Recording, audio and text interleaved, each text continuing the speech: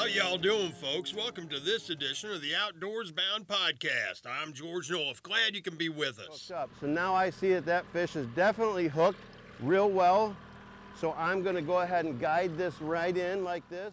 All kinds of fishing news this week. Let's start with the big story a lot of folks are talking about the increase in striped bass stocking at Smith Mountain Lake.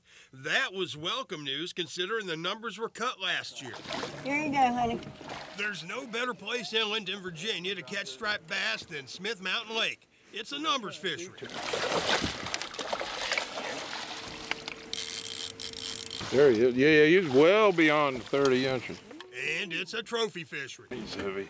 But it's also a fishery that depends on stocking by the Virginia Department of Wildlife Resources. There is almost no natural reproduction. Last year, stockings were cut to roughly 230,000 juvenile striped bass. Now, that could mean a drop in catchable striper numbers in a few years. This year, there was an increase to 300,000. Biologist Ann Wilson made the announcement at a meeting of the Smith Mountain Lake Striper Club. We're increasing the stocking from last year, but it's still a little bit below our 20 year average. It's somewhere in between. We had a school of stripers, uh, multiple schools of stripers, uh, in the thousands, I'd say, of fish. Push some bait back up in here. While the increase is welcome news to those whose livelihoods depend on striped bass, the problem, the reason for last year's cut, still remains. It's a decline in a vital forage fish, the gizzard shad. Now, striped bass thrive on them. But with gizzard numbers falling, DWR biologists saw a corresponding drop in striper growth rates. They reduced striper stockings from historical levels in an attempt to give those gizzards a chance to bounce back. The only reason they increased stocking numbers this year is to maintain the fishery. It's a balancing act. I'm trying to prevent uh, a major hole in the fishery developing three, four, five years down the road by kind of tapering a reduced stocking until the growth gets back to where it should be. While those reductions may seem ominous, Wilson says the Smith Mountain Lake striped bass fishery remains strong. That action needed to be taken now to ensure scenes like this can play out well into the future. There we go. Biologists saw a similar scenario unfold 20 years ago but didn't take action in time, and the striper population nearly collapsed at SML. They want to keep that from happening again. The DWR is going to keep checking striper growth and the gizzard shad population. Now, you may ask what the correlation is between the two. While stripers will eat almost anything, from a nutritional standpoint, gizzard shad are optimum and provide the biggest nutritional bang for their predatory buck. We're hearing the smallmouth are picking up on the James and the new, and at SML, good catches of largemouth and big largemouth.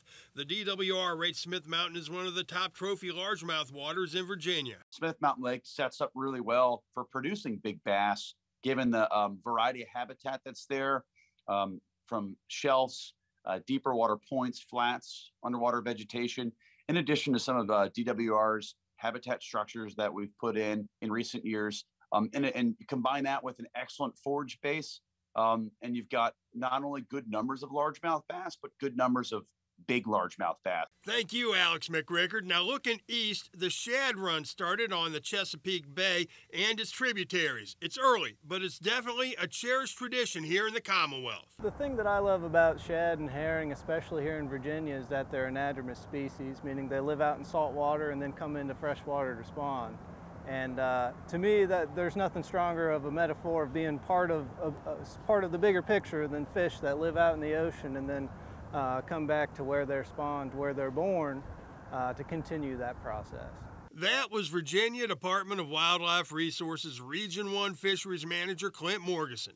Hickory shad numbers are going back up after a decades long decline. American shad numbers, however, they remain low. I had the chance to go out with Clint and a DWR electrofishing crew a few years back to get a better idea of the number of shad returning to the James River. In the shadow of the Richmond skyline, there is something shocking going on. And we mean shocking, literally. We're trying to get a handle on the population of the Alosines, and those are the American shad, the hickory shad, the alewife, and the blueback herring. If you ever wondered how the Virginia Department of Wildlife Resources keeps track of how many fish are in a particular body of water, this is one of the ways they do it. It's called electrofishing. See those arms on the front of the boat with the wires hanging down into the water? Well, a low level electric current is passed through those, not enough to kill the fish nearby, but just enough to stun them and bring them to the surface where they are netted.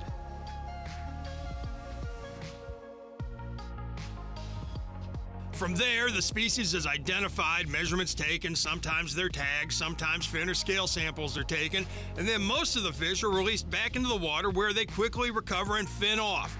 On this day, the crew was looking at shad, herring, and striped bass. It's something they do weekly. These fish come in waves, they'll, they'll come in pulses, and so by sampling weekly, we sort of put the whole picture together for the spring. And that's important because what these crews learn can tell them a lot about what they have to do to make sure our various fisheries thrive. That's vital because there's more to fish than just fishing. Take those shad and herring, for instance. Uh, now, they may just look like little silver fish, but uh, they're incredibly charismatic and they are the cornerstone of, uh, of these freshwater rivers along the Atlantic coast. Now, if you want to take advantage of the shad run as it picks up, you can use a variety of shad darts or small jigs to take them. Small spinners and spoons can be effective too. One of my favorite places to fish for is Ancarrow's Landing in Richmond. Now, remember, you can keep hickories, but American shad have to go back. While a lot of folks toss them all back, if you do keep a hickory or two, they're delicious, fried, broiled, or grilled, and their roe is considered a delicacy funny how finicky, like we were saying, how finicky they are. Muskies are about to go on the spawn. Right before they do that, and right after, they go on the feed. The problem is, at this time of year, with lots of rain, conditions, especially on rivers like the New and the James, can be challenging. A muskie expert and author of Next Level Muskie Fishing, Stephen Paul, has some advice. You know, you're going to get the strikes. You got to just spend the time on the water. It, it, regardless of what you're dealing with, it's an obstinate fish it's just the mental grind. You deal with muddy water, you deal with high skies, you just got to stay in the game, keep grinding. You're gonna get those opportunities. And we're fishing these, they're, they're pre-spawn fish, but they are almost ready to go. We are seconds away. You know, it, it, at least for where we're at geographically, a good sign's the dogwood trees, right? Obviously your water temp's gonna tell you a lot of what you need to know. But you see the dogwoods, we have some budding trees here. We're just on the cusp of the spawn. These fish are trying to keep their calories up for that, which is the biggest endeavor they do each year. So they're willing to bite. We just got to make the cast and put the time on the water. Those fish are going to be in that spawning window for at least a month. Reproduction on the new and the James is self-sustaining. If you're a seasoned hunter, then you're already getting ready for spring gobbler season when it opens next month.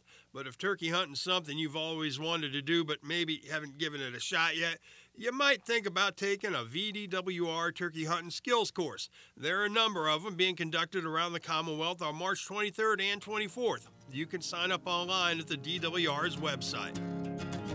We're all looking for gear bargains. I mean, who's not with inflation the way it is these days?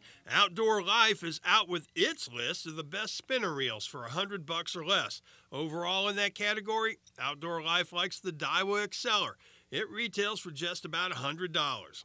The magazine rated the Penn Pursuit 4 as the best saltwater reel. It'll cost you 70 bucks. The Shimano Sedona FI was rated the best all-purpose reel. It retails for $80. Finally, Outdoor Life rates the Lew's Speed Spin as the best budget reel. It sells for 60 bucks. Now, very few reels are still made in the United States, so finding a US made reel these days may feel a lot like finding a unicorn. But if you're looking for an American made reel, you don't have to leave the state of Virginia. I got the chance to tour the operation at Seigler Reels in Virginia Beach. Oh, God! If you've ever fished, you know the heart pounding moment when a big one takes off. Your reel better be up to the task. Oh, brother. These days, most reels are made somewhere else. A U.S. made reel, well, that's a unicorn. But if you want to do a little unicorn hunting, come to Virginia. It's definitely a challenge to try to keep everything stateside, to keep the price just in the right zone too. So That's Wes Seigler, president and founder of Virginia Beach-based Seigler Reels. My original mill was right here, the little one. It's doing, it's still alive and working. Every reel Seigler has made has been produced right here in the United States, right here in Virginia. As us fishing reel makers and, uh, you know, outdoorsmen and women, you want your stuff made here, and the one thing is to keep it going forever. So this is a SG Um, lever drag, conventional reel, it's actually left hand. Wes says reel making comes out of his lifelong passion for fishing, both conventional and fly, and that turned into an obsession for making his product here too. Just became a passion to try to keep it here, you know, and one machine led to another machine to another machine. when you talk to tackle makers, you hear about inspiration for making something better coming from experience on the water.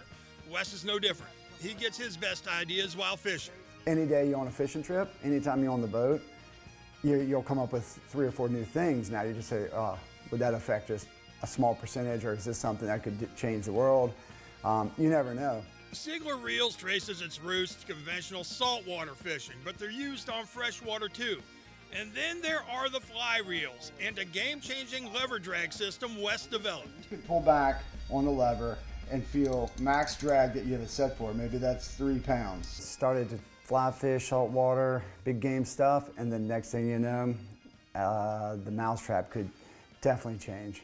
So I came up with a new design and um, just really targeting really mean fish, some of the biggest fish in the world.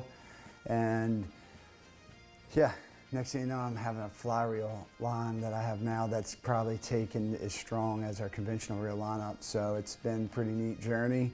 And that journey of making reels and creating jobs right here in America is one Wes says is a company commitment.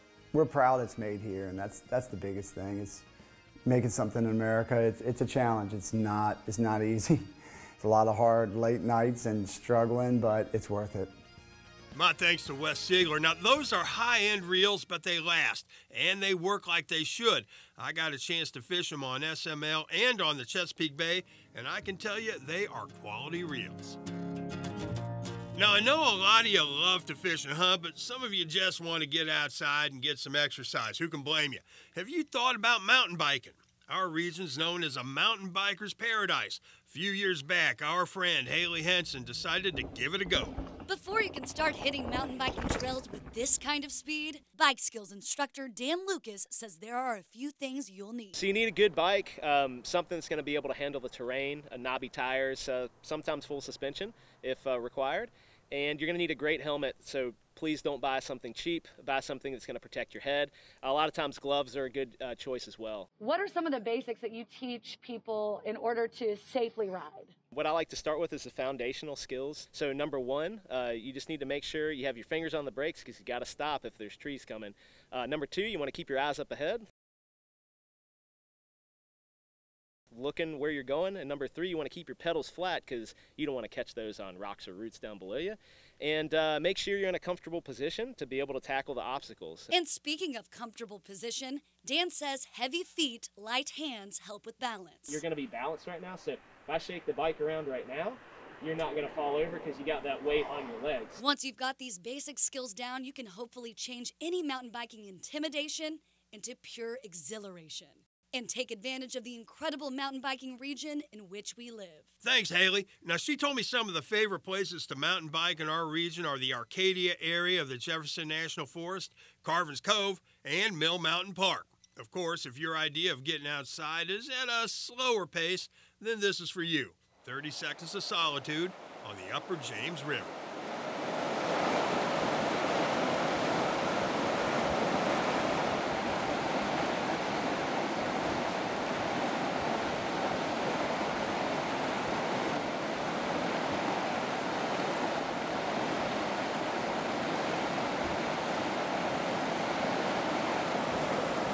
Man, that just puts your mind right, doesn't it?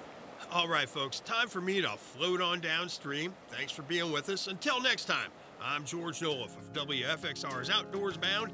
Tight lines and good hunting, y'all. You build the mountains in your dreams. You lead the world so you can breathe. Whoa.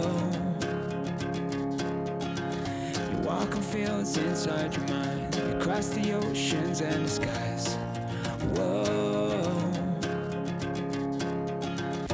Like you found a better way. Don't fight them all what they say. Just turn around and walk away.